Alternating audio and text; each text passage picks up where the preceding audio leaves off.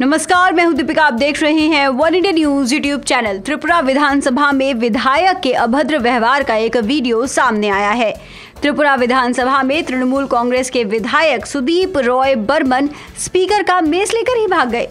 सदन में वन मंत्री नरेश जमातिया से जुड़े निजी आरोपों पर हंगामे के बीच बर्मन ये मेस लेकर भागने लगे। जैसे कि आप वीडियो में देख सकते हैं कि साथी विधायक और मार्शलों ने बर्मन को पकड़ने की कोशिश करी, लेकिन वे नाकाम रहे। शून्यकाल के दौरान तृणमूल विधायक विपक्ष के पूर्व नेता सुदीप रॉय बर्मन ने एक बांग्ला अखबार में प्रकाशित मुद्दे को उठाया था, जिसके बाद जमातिया ने खड़े होकर अखबार में प्रकाशित आरोपों को निराधार बताया।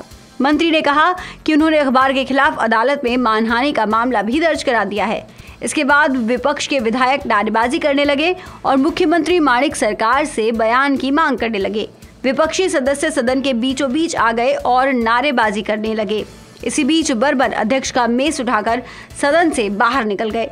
स्पीकर ने मीडिया से कहा, बर्मन ने पहले बिना कोई नोटिस दे शून्यकाल के दौरान इस मुद्दे को उठाया। इसके बाद विपक्षी दल के नेता सदन के वेल में आ गए और नारेबाजी करने लगे। तभी अचानक बर्मन ने मेस उठाया और सदन के बाहर भाग गए।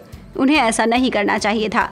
गौरतलब है कि जनवरी 1972 में त्रिपुरा को पूर्ण राज्य का दर्जा मिला था। इसके बाद से राज्य की विधानसभा में मेस लेकर जाने की तीन घटनाएँ हो चुकी हैं। इस खबर में फ़िलहाल इतना ही। देश, दुनिया और राजनीति की खबरों के लिए सब्सक्राइब कीजिए one India Hindi YouTube channel.